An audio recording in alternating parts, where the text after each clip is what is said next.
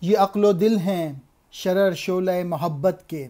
وہ خارا و خس کے لیے ہے، یہ نیستاں کے لیے۔ اقبال نے اس شعر میں عقل و دل کو جو ہے کمپیئر کیا ہے اور دل کی اہمیت بیان کی ہے دماغ پہ۔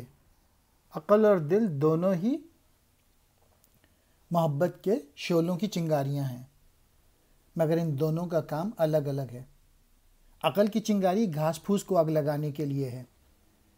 جبکہ دل کی چنگاری جنگل کو، بانسوں کے جنگل کو، نگاہ بلند، سخن دل نواز، جان پرسوز، یہی ہے رخت سفر میر کارواں کے لیے۔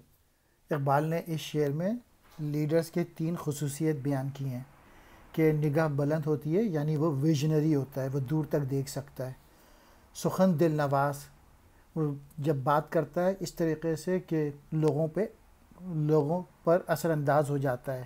اس کا میسیج جو ہے وہ دلوں کو چھو جانے والا ہوتا ہے اور وہ پیشن رکھتا ہے۔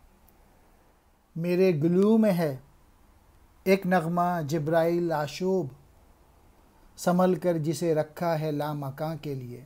اقبال کہہ رہے ہیں، میرے گلے میں ایک نغمہ ایسا بھی ہے جس کو سن کر حضرت جبرائیل علیہ السلام بھی تڑپ اٹھیں میں نے اس نغمے کو اوپر کی دنیا کے لیے سنبھال کے رکھا ہوا ہے۔